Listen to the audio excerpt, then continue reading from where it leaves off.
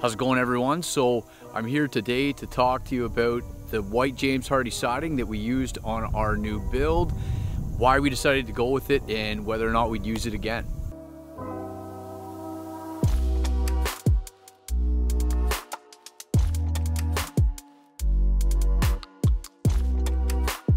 Okay, so I'm gonna take you for a tour around the house in a minute and get some close-ups of what this stuff looks like fully installed. I'm gonna start by saying that we agonized over the decision to use this stuff for many nights when the cost was nearly double that of using vinyl siding. And the reason was that when we started looking for what general style and theme we wanted for our house, of course we spent a lot of nights on Pinterest and Instagram and pouring through the internet and we stumbled across the modern farmhouse style and pretty much fell in love with it. It seemed like the white siding was really the only way to capture that feel that we were going for. And James Hardie, the cement fiber siding, seemed to be really the gold standard of what builders that were doing this kind of style were using. So anyways, there was a lot of back and forth about whether or not it was worth the price. And I'm gonna go over why it cost so much, what the downsides of using it were, and whether we would use it again. Okay guys, so we used the board and batten siding on most of the front of the house. This stuff comes in 4 by 8 sheets and the battens go on afterwards. We use some of the lap siding up in the peak there and then as well the rest of the side of the house and the back of the house are all done in that uh, five and a half inch lap siding. So, and you can see we use it on this bump out to give it a bit of a different texture. And I'm going to take you around the side of the house now. Okay, so here's a look at the transition from the board and batten style on the front over to the lap siding on the side of the house. Here's a look around the side and the back of the house. It's all in the five inch lap siding. Okay guys, so what really pushed us over the edge to decide to use this product was the fact that we were building a two story home and if we did it in vinyl. We didn't mind the look of some of the board and batten vinyl products. Even though the battens are much thinner you can't get this wide look where we have this we decided to go with the 16 inch spacing on our battens and you can actually do them in 24s or 12s or of course 6 if you wanted to. Any increment that's divisible by 48 because the board and batten comes in 4 by 8 sheets which I can show you one of later you can pick any increment for how tight you want your battens to be. But we thought that that 16 inch spacing look gave it a good beefy look and it fit for the size of the house. When we looked at a lot of the vinyl products the spacing on that board and batten style was too tight and it looked too thin. It, there's too many lines. And then not to mention the next thing was that the white colors, the tone of this white, it looks very bright when you're up close and personal, but when you hold it side by side with a vinyl white, this is actually a fairly gray and dark tone of white versus some of the vinyls look more bleached out and they really pop and look fake and they don't look like uh, this is meant to replicate sort of an authentic painted wood look. And we think it does a pretty good job. It also has a cedar mill pattern to it so it looks more like wood. Okay so the lighting's not the best here in this section but you can see this board and batten siding and it does have a cedar mill pattern to it. I don't know if you guys can see that that it actually has a bit of it. Looks like a wood groove. Same with on the battens. So this sheet goes on underneath first and then these battens get attached separately afterwards. Now there's a ton of caulking involved because these battens look best when they're caulked all the way down. They don't have to be because this is a rain screen and there is strapping in behind this. And that's part of what made it so expensive to put on is the strapping and the labor intensiveness to go with that. Even though that should be done with vinyl anyhow, most times where we're from here, people aren't doing it and they're saving a ton of cost that way. Now, when we went with white in the country, we knew that we were gonna have some troubles with bugs and cobwebs, and we certainly do. I don't know if you guys can see that up there and up in this porch section. It's a little bit dark, but there is a lot of spider webs and we get dust, exactly, exhaust, trucks going down the road, we get dirt, but still it's pretty minimal and I would say it doesn't really change the overall look of it. It's never gotten dirty enough to really make it not look that fresh, clean look that it already does. Okay, so we love the look, and now let's talk about some of the cons of why we were about to opt against this product and what made it so hard to get it done and get it done affordably because those were really the biggest downsides. So one, there's not a lot of installers for this product in our area.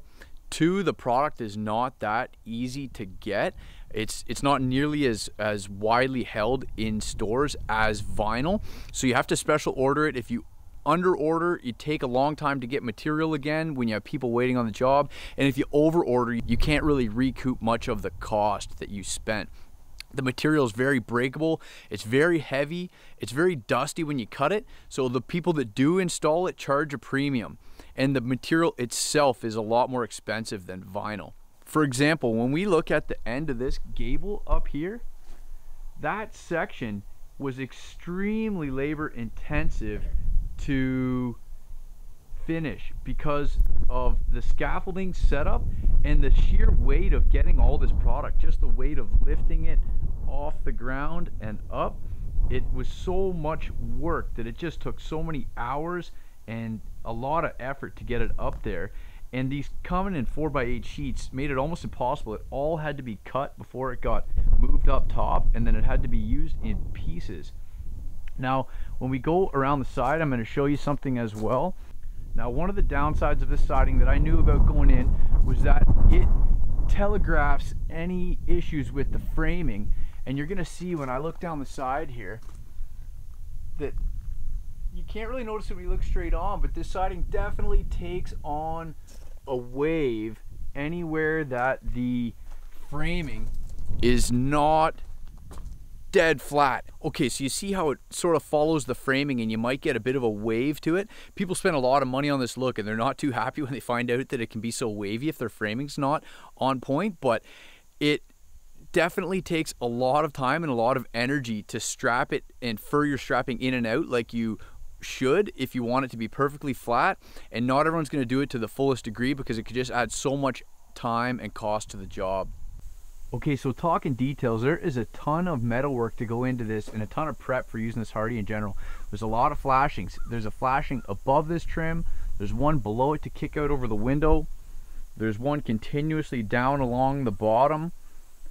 And there's just a ton of things that make the install of this product a lot more labor intensive than vinyl. Okay guys, so we're in my garage now. I'm just gonna show you this stuff real quick. You can see how it's painted on one side and where it's bare on the other it's got a small one inch nailing strip at the top where your nails go and they're a special style of spiralized uh, siding nail. You cannot use roofing nails because this stuff has a ton of weight, so it wants to fall down. Basically, it's it's you need something with a good pull-out resistance. But anyhow, it's it's just this cement fibrous product. makes a ton of dust when it gets cut. It's really brittle and it's really heavy. I just want to show you real quick with a small piece of this which by the way, I have a bunch left over in my garage because I'm worried if anything ever gets broken, I'm not going to be able to get uh, replacement material in time for this stuff. So just to show you, look at this. It's basically like drywall, guys. Like it doesn't take much at all. I mean, I can go right over the edge here and you see how that stuff just snaps like that. So you definitely end up losing a bit of product because these things come in long 12 foot pieces. And when you try and move it a few at a time, they really start to sag and they tend to want to snap. So you lose some product that way and you end up wasting a bit of money. Okay, so we're in my garage now. I'm going to show you the back of one of the pieces of the board and batten siding. There it is right there. You can see it's a full sheet and it, it's just this cement fiber. It's not painted on the back. And then there's what a piece of the trim looks like. It's hollowed out, got these channels for drainage, and you can see the same thing. There's that cement fiber. And this stuff is heavy. That leads me on to one of the next big downsides people have told me about this stuff is that when you got things like hockey pucks being shot at your house and they miss and hit your siding, apparently leaves a pretty bad mark and it's not that easy to fix. All right guys, well this isn't a hockey puck, but it's a small dumbbell plate and I just want to show you what happens if I hit this stuff. So it marks up. It doesn't break, but it definitely takes on a stain and it chips. I don't know if you can see that. There's a pretty deep chip in there. And you're never really totally going to recover that. Now, mind you, vinyl might just break when that happens. Um, you can cover over this with a touch-up paint and some caulking. They do have color match touch-up, but that's definitely one of the potential downsides of this stuff versus wood. I wouldn't compare it to vinyl because I think it's more hardy than vinyl in that sense. It can take a bit more of a beating, but I don't think that wood would crack and chip uh, the same way that this stuff does versus some abuse from uh, kids, toys, games, that kind of thing. I got to say thank you very much to our awesome installers. We haven't had a single bit of water trouble with this stuff and it's all thanks to the attention to detail they put into the flashings and as well as our awesome framers who did an amazing job at putting on tape to begin with on our exterior foam insulation. We're very happy with this product. Final conclusion is that we are glad that we used it we went a little overkill on our house in general and I don't think that we would recoup as much of the cost as we will if we had went with vinyl because I think it would have dumbed the whole look down so all in all we're happy with it and I think it's safe to say that we would use this product again in this application and subscribe if you're looking for more videos like this. I'm going to continue to review our new build and I've got a bunch of exciting stuff coming up that I'm going to try and dive into some more building science and renovation advice as well as general advice in terms of how to buy, renovate, and build your way towards your ideal home.